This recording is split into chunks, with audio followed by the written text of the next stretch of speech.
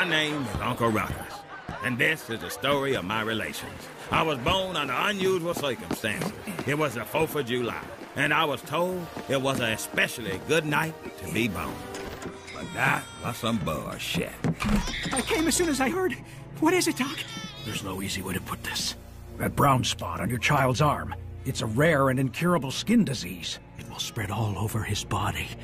His skin will continue to grow blacker and blacker, and blacker and even blacker and more blacker and blacker and then even blacker. Talking plain English, damn it! I can't understand what you're saying! Eventually, he will be indistinguishable from a Negro. No! Not that! Anything but that!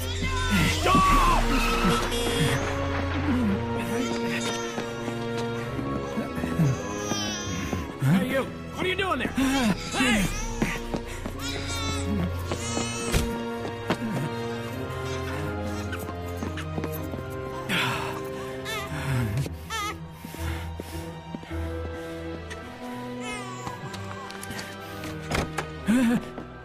Come here, bitch. Give me something real quick. You ain't said nothing so far about my hair. Cause it ain't yours. It is so mine. I'm the first colored girl you ever met with blonde hair. And one day, I'm gonna have eyes as blue as the summer sky. Bitch, you ain't never in a million fucking years gonna have no blue eyes. You're hairier than a motherfucker, too. Your personality ain't much to speak of either. Your cooking ain't shit. You ain't clean worth a damn. Nasty bitch. But I need somebody around here that's gonna wash the shit stains out in my drawers. So I guess you'll do. But mister, your mama hates me. Mama ain't got much more time left in her. She gonna be dead in a few seconds. You watch and see. I don't know. Look, uh, why don't we go for a walk down by the swamp and talk about it? But what about the... Bitch, I said let's walk by the swamp. Okay, okay. Ain't Juju. Tell mama I'll be right back. Lord have mercy, what?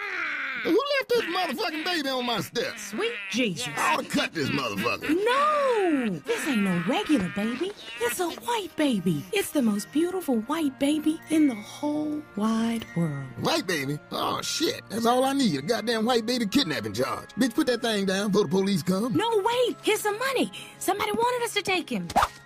shit. Finding white babies might be better than I thought.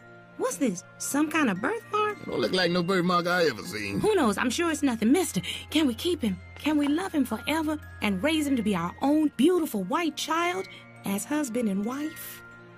Fine, bitch. Oh, thank you, mister. What should we name him? We gonna name it after my uncle. Okay, Uncle Ruckus it is. But if the authorities come, you going to jail, bitch. I didn't know nothing about this white baby shit. I'll never forget the day my grandmama, Nellie Ruckus, showed up at my house after all them many years. I'll never forget it, cause it was a day that scarred me for the rest of my natural bone life. Ah! Ow! God damn it! Oh, Uncle, it's you. Nellie? Nellie, is that you? Nigga, I thought you was a burglar. A big, fat, funky, nasty, stinky, black, one-eyed motherfucking burglar. Why the fuck didn't you knock, nigga, you raggedy son of a bitch? I live here. You sass me again, boy, and I'll cut you. What are you doing here? Uncle, I'm dying. Doctor says it's gonna be any day now, and I just couldn't do it. I couldn't die in your father's house. I, I haven't seen or heard from you since the day Daddy threw me out 53 years ago. Yeah, so? What's new with you? Your daddy always used to say you wouldn't amount to shit.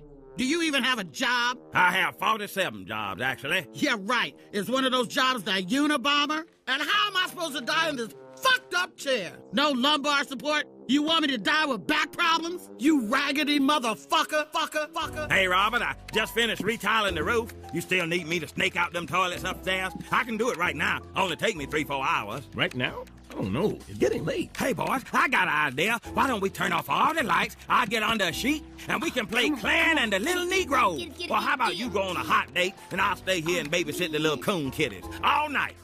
Ruckus, are you trying not to leave my house? My grandma Nellie just showed up, and she's... Well, I can't explain it. I just can't go back. Ruckus, everybody got a messed up family. Shoot, look at the boy. Hmm? What? No, mine is different. the revitiligo spread rapidly across my whole body, like that black symbiote that turned Topher Grace into Venom in Spider-Man Part 3. By the time I was three years old, I was indistinguishable from any other African Negro child. Uncle! Uncle! How coming, mister? My adopted Negro father was a loser, even by loser Negro standards. Yes, mister? Why you frolicking in the damn field, frolic your ass to the store and get me some beer, nigga. He was miserable, just for the sake of being miserable. But what I remember most was his unwarranted hatred of the white man. Goddamn crackers. Black man can't get ahead for nothing.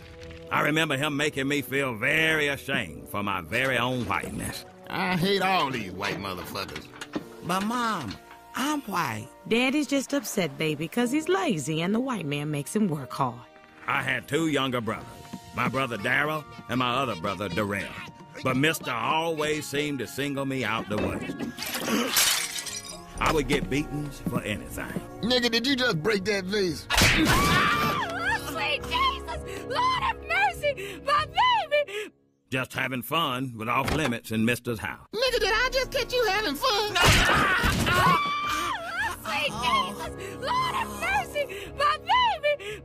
Every day, he reminded me of what a failure I was going to be. Miss, I want to be a doctor when I grow up. Nigga, did I just catch you wanting to be shit? oh, Sweet Jesus! Lord have mercy! My baby! My darling adopted Negro mother, who I loved almost like she was white, did the best she could. Now, don't you listen to him, Uncle. You ain't no worthless nigga. Deep down, deep down in your heart, you always have to believe that you are special. She made sure I knew all my white history.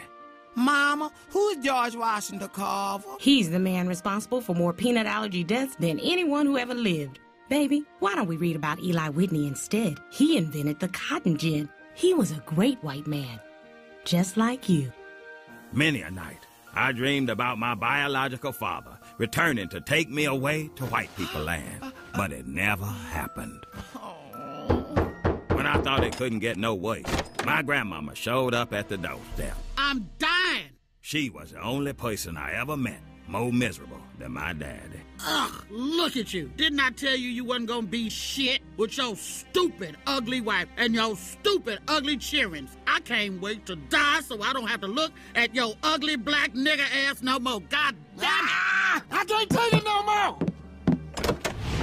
It was very shortly after that my adopted father threw me out of the house.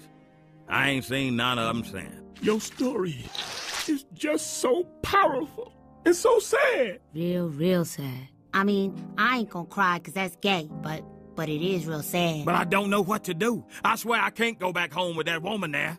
Please don't make me go.